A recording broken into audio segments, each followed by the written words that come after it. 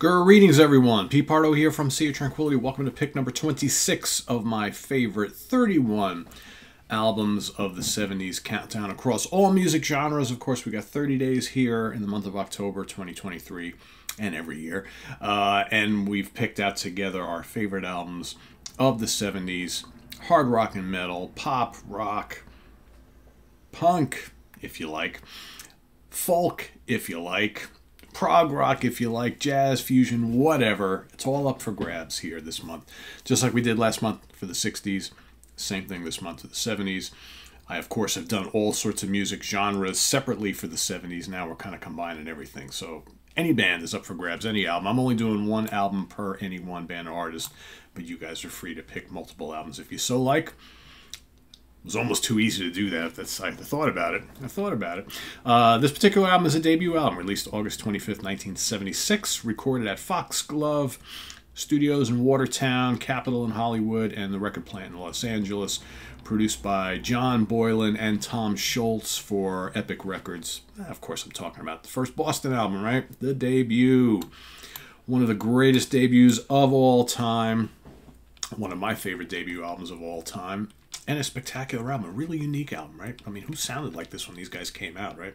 This was, uh, I remember when I first bought this album, I played this to death, and this is one of those rare albums, I think, where, yeah, I've heard it all, either on the radio or based on what I played or friends have played or whatever, a million times. I never get tired of it. Never get tired of these songs, never get tired of this album. I think the only song for me on this album that maybe is kind of bordering on, all right, yeah, I've heard that probably enough, but I still enjoy it, is More Than a Feeling, the kickoff track, right, which is the big hit on the album. It's a great song. It's a great song. But man, just such a such a great album. Tom Scholz, of course, the leader of the band, leading rhythm guitar, acoustic guitar, special effects guitar, organ, clavinets, little bass. He's basically the jack of all trades, does almost all of it at times, except for sing. The guy who sings, though, the late great Brad Delp, leading harmony vocals, acoustic guitar, rhythm guitar, percussion. Barry Goudreau leading rhythm guitar, Fran Sheehan bass, Sib Hashian drums and percussion. Yeah. I mean, not a weak song on this album. More Than a Feeling kicks it off one of the great hard rock anthems of all time. Man, those guitar licks and riffs, that the soaring vocals, that chorus. This is stadium rock, folks. To think that they these guys knocked it out of the park, and you know, fairly soon after they released out, this album became pretty much like a big arena stadium rock band, right? Uh, Peace of Mind, terrific song, my favorite song on the album. Love Peace of Mind, man, love those guitar parts, so good. Love the production and the recording of this album. Just it's total ear candy. Uh, foreplay, long time, of course, the great hard rock and instrumental with the great organ and great guitar licks, heating hit heating into, leading into a long time, which is a killer, killer song. Great solo from Barry Goudreau on that. Then, of course, side two, you got a mix of hard rockers and more, you know, mellower poppy tracks, right? You got Rock and Roll Band, killer hard rock song. You got Smoking, The Furious Smoking. Hitch a Ride is more kind of like breezy, almost like kind of like California rock type thing. You got two songs on this side that kind of fit that mold, kind of like maybe like what the Eagles were doing, something like that. Hitch a Ride is one of them.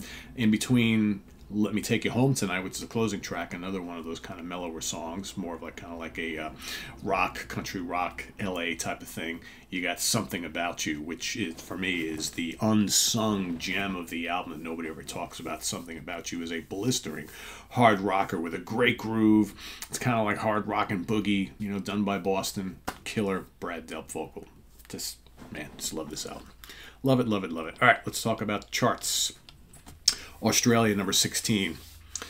Canada number 7, Dutch charts number 11, Finland number 20, Germany number 4, Japan number 24, New Zealand 26, Sweden made it up to number 16, Switzerland number 3, UK number 11, and here at uh, the US of A, the Billboard Top 200 albums made it to number 3.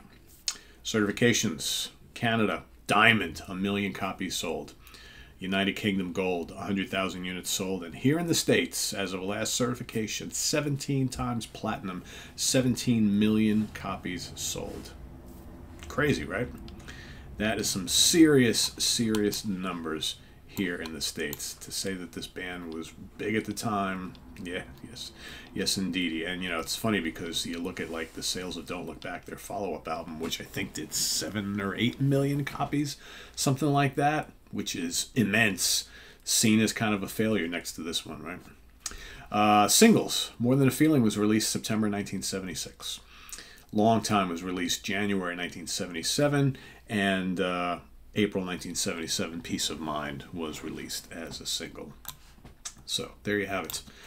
Boston, self titled debut. Great album cover, too. I love this kind of like artwork with this uh, spaceship guitar with the Boston logo. It's actually like also like a little city within. Very cool when you think about the concept of this. Very, very, very cool. It's almost like you know the Earth is blowing up, so all these uh, you know little spaceship shaped guitars as spaceship with little cities on them. Very, very cool. Looking for a new place for the people of Earth to live. Right. Very cool because there's a whole bunch of them, right? There's a whole fleet of them. So, anyway, thanks for watching. Visit us on the web at www.seatranquility.org. We're on Facebook, we're on YouTube, all together, all the damn time. Please subscribe if you haven't already, and click on that notification bell so you get alert of all of our content as it posts. And please do hit the like button before you leave. Also, down below, we got the links to our Ko-Fi page for channel donations, our merch page, and our Cameo page. So, uh, thanks for all your support investigating those three places. And, uh, List your pick down below, and we'll see you soon here tomorrow for pick number 25. Stay tuned. Just a little while, Mr. Martin Popoff is coming into the funhouse. We will be uh, up to our normal weekly craziness talking about all sorts of musical topics so stay tuned for that we also got uk connection coming up tomorrow and we've got ranking the albums coming up on sunday i will be ranking the short but really great catalog of a very cool psychedelic band called Weedpecker you might be thinking, wow, that is the craziest name I've ever heard, Pete. Who the hell are Weedpecker? Well, stay tuned on Sunday to find out. Very, very cool uh, band. They got four albums, each one of them really, really good. If you like kind of psychedelic space rock, stoner rock, prog, all melded in together, I think you'll dig these guys. So uh, that's coming up on Sunday. So till then, take care, everybody. See you soon. Bye bye.